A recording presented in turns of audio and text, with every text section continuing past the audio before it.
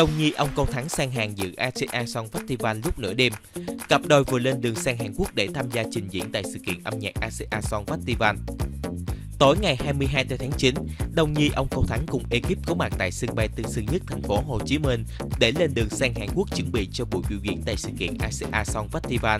Sau Nu Phước Thịnh, nữ ca sĩ Vi Ai Anh là nghệ sĩ Việt Nam thứ hai có cơ hội đứng trên sân khấu mang tầm châu lục này. Nhiều người hâm mộ đến sân bay để tạm biệt thần tượng của mình.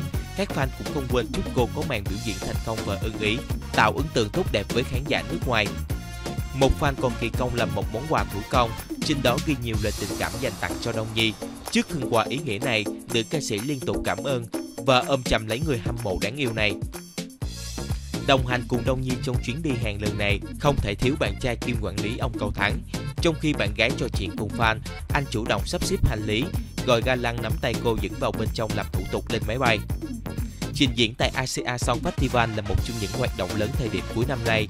Do đó, suốt thời gian qua, nữ ca sĩ dành khá nhiều thời gian để chuẩn bị và tập luyện với mong muốn mang đến những màn biểu diễn ấn tượng nhất. Theo dự kiến, Đông Nhi sẽ mang đến sân khấu ASEA Song Festival 2017 hai tiết mục tuy cũ mà mới. Đặc biệt, phần vũ đạo lần này được biên đạo Lan Nhi chia sẻ là vô cùng khó nhưng lại rất đẹp mắt. Đông Nhi giữ tâm lý thoải mái vui vẻ để có được phong độ tốt nhất. Khi đến Hàn Quốc, cô có chút thời gian nghỉ ngơi và bắt tay vào công việc với chương trình tổng duyệt. Đêm diễn chính thức được tổ chức tại thành phố Busan vào tối ngày 24 tháng 9 và truyền hình trực tiếp trên sóng các đài truyền hình quốc gia của Hàn Quốc, Nhật Bản và được đưa tin trên các kênh truyền hình lớn từ khắp thế giới. Ngoài sự kiện chính ở ASEAN Song Festival, Đông Nhi sẽ có buổi giao lưu cùng khán giả tại thủ đô Seoul vào lúc 20 giờ giờ Hàn Quốc. ASEAN Song Festival liên hoan ca khúc châu Á là sự kiện lớn của âm nhạc châu lục, được tổ chức thường niên tại Hàn Quốc kể từ năm 2004. Năm nay, dàn nghệ sĩ tham gia của ASEAN Song Festival khá hùng hậu, đặc biệt là nhóm nhạc EXO, trưởng nhóm SNSD Taeyeon, nhóm nhạc có giọng ca thiên phú Mamamoo,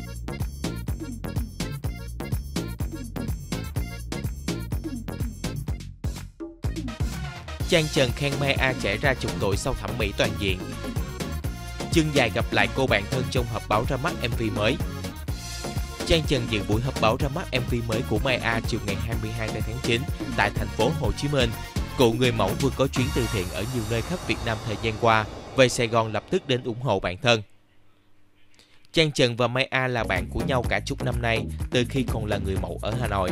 Sau này, cả hai vào Sài Gòn lập nghiệp, Trang Trần vẫn theo đuổi nghề mẫu, còn Mai A đi hát. Điều đặc biệt là cả hai đều đứng xưng sang lĩnh vực điện ảnh, lẫn kinh doanh và gặt hái được thành công nhất định. Tại sự kiện hôm qua, Trang Trần khen cô bạn của mình phẫu thuật thẩm mỹ xong quá xinh đẹp và dường như trẻ ra cả chục tuổi. Trang Trần thổ lộ chắc cô cũng phải đi tuốt nhan sắc để trẻ chung như cô bạn. Mai A mặc gợi cảm trong buổi ra mắt MV, nữ ca sĩ đã trải qua hai ca phẫu thuật thẩm mỹ tại Hàn Quốc cách đây không lâu. Lần đầu cô sửa một số điểm trên khuôn mặt và nâng ngực, lần thứ hai cô cấy mỡ và tiêm tế bào gốc. Hôm qua, một số khách mời lần đầu gặp Mai A sau ca đại tu đều bất ngờ vì trông cô trẻ trung xinh đẹp hơn trước. Dịp này, Mai A giới thiệu MV là Vì Ai, ca khúc do nhạc sĩ Tú Dưa sáng tác và được ekip người Mỹ thực hiện. Bản ballad được Mai A thể hiện dây dứt nồng nàn, nữ ca sĩ còn hóa thân thành một cô gái nhiều tâm tư khi bị phản bội trong MV. Nhạc sĩ Tú Dưa từ Hà Nội vào thành phố Hồ Chí Minh dự họp báo. Anh cho biết Mai A đã kể cho anh nghe một câu chuyện tình để lại nhiều nỗi niềm trong cô nhất. Từ đó, anh sáng tác nên là Vì Ai cho cô hát. Mai A rạng rỡ bên đạo diễn giúp ảnh người mẫu đến từ Mỹ. Anh khen Mai A diễn xuất tốt và rất nhanh nắm bắt được ý mà anh truyền đạt. Sắp tới, anh cũng sẽ giúp Mai A thực hiện một số bộ ảnh. Đến dự họp báo còn có ca sĩ Diệp Lâm Anh. Nữ ca sĩ này cũng đã trải qua cuộc phẫu thuật thẩm mỹ để trở nên xinh đẹp hơn. Ca sĩ Lưu Hương Giang Ca sĩ Hiền Hồ chứng Thành cúm nhúm bắt tay chào hỏi Hoàng Thị Linh. Chàng MC đùa giỡn và cung kính khi thấy nữ ca sĩ ăn mặc quá lộng lẫy dự sự kiện tại thành phố Hồ Chí Minh tối ngày 22 tháng 9. Hoàng Thị Linh đẹp sang trọng quyến rũ với váy xuyên thấu dài quét đất.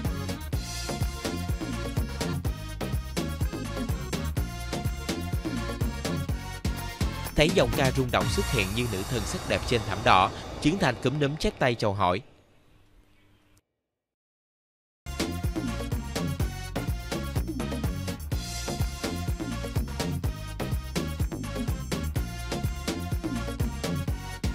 Chàng MC tình tứ Amel chụp ảnh cùng Hoàng Thị Linh trong sự kiện.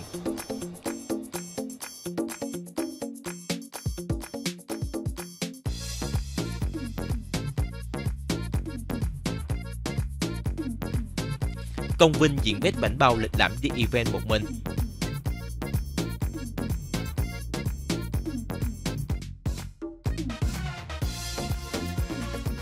Phương Mai táo bạo khoe vai trần ngực đầy sexy.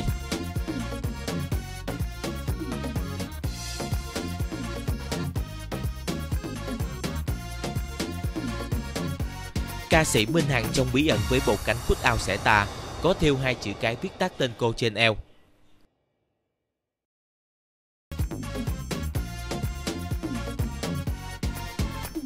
Bé heo tạo dáng lạnh lùng cá tính trước ống kính.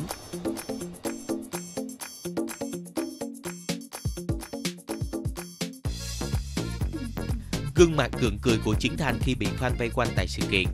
Có mặt tại một sự kiện điện tử, Chiến Thành và dàn sâu Việt nhanh chóng thu hút sự chú ý của người hâm mộ. Tối ngày 22 tháng 9, Chiến Thành là khách mời đặc biệt trong một sự kiện lớn được tổ chức tại thành phố Hồ Chí Minh. Ngoài danh hài thì sự kiện còn có sự xuất hiện của nhiều tên tuổi đình đám khác, Minh Hằng, Hoàng Thị Linh, Phương Mai, nam danh thủ Công Vinh. Xuất hiện tại sự kiện, Chiến Thành diện bộ vết trắng bảnh bao. Ngay khi vừa xuất hiện trên thảm đỏ, danh hài nhanh chóng trở thành tâm điểm chú ý. Anh bị các fan vây kính chụp hình và xin chữ ký. Chiến Thành bỗng rơi vào tình cảnh dở khóc dở cười, vì muốn tiến cũng chẳng được, mà lùi cũng chẳng xong. Anh đành đứng im trong trạng thái bất lực. Khoảng 5 phút sau, khi người của ban tổ chức tới can thiệp và dẹp loạn, Chiến Thành mới có thể thoát khỏi vòng vây đám đông và thở phào nhẹ nhõm. Chiến Thành xuất hiện bảnh bao trong một sự kiện vừa diễn ra tại thành phố Hồ Chí Minh. Ngay vừa mới đến sự kiện, người hâm mộ hào hứng chụp ảnh và xin chữ ký khiến nam danh hài phải đứng hình.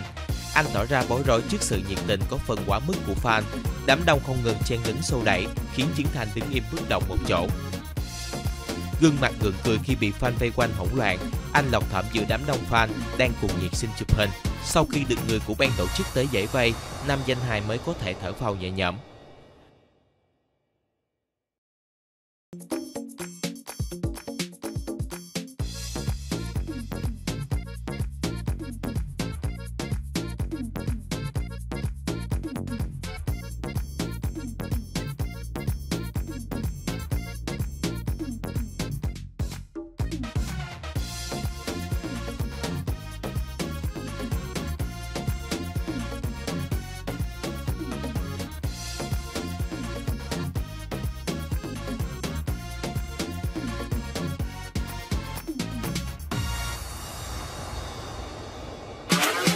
Xin chân thành cảm ơn các bạn đã dành chút thời gian để theo dõi kênh của chúng tôi.